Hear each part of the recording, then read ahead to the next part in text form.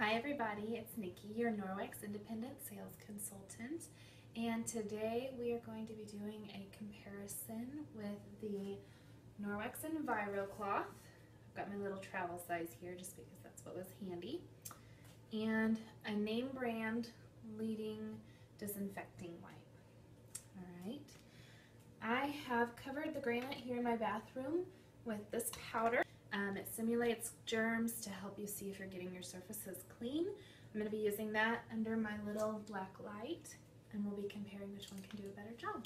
So here we go.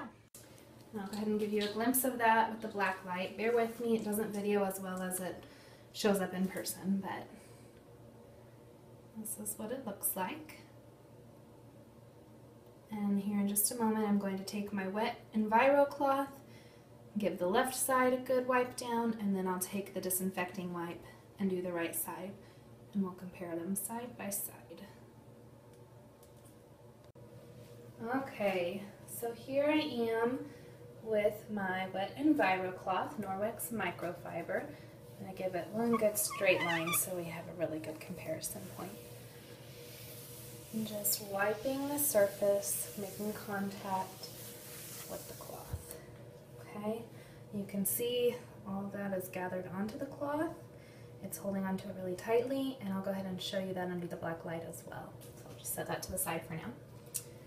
And then I'm going to grab my disinfecting wipe, stick into that hard line that I drew, and we'll just wipe, not pressing any softer, any harder, just giving it a thorough wipe too.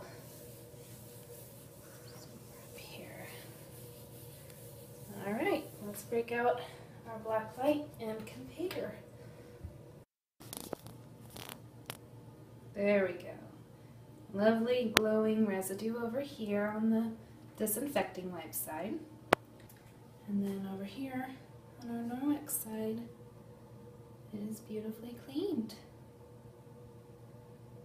using only water. So there you go. Norwex versus disinfecting wipes. Thank you for watching.